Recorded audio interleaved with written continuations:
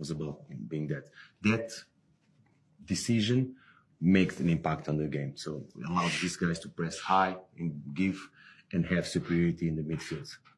Playing with three midfielders in central zones and gaining because they were playing Kroos, and James and Isco. These guys are not midfielders. This guy is going to go inside. So it's about winning the, the central zone of, of the pitch.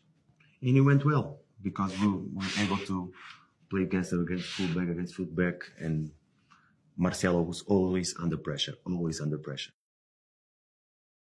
The moment was taking advantage of, of the wide of the wide players, Gayà and Barragan. Um, the ball has to circulate and find situations that Gayà is really wide, and because these midfielders, they, the protection of the, inter, the central zone is not like uh, defensive midfielder because you're talking about James, Isco. We knew that in the middle will be very, very, in wide areas were, were basic. So it's taking Gayà advantage of, of bringing the ball inside. The movements of the two strikers dragging to find the space to, to Barragan and get a shot. He went in, so brilliant we were one one zero down and we, we draw in that in that moment was and this is what was all about strategy.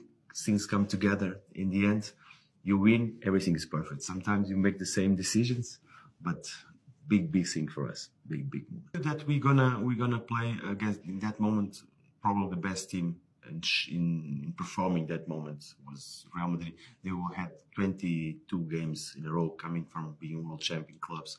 So a decision that you make. And the players that you have was man to man. Otamendi, Mustafi, and Orban did a fantastic game against uh, great football players.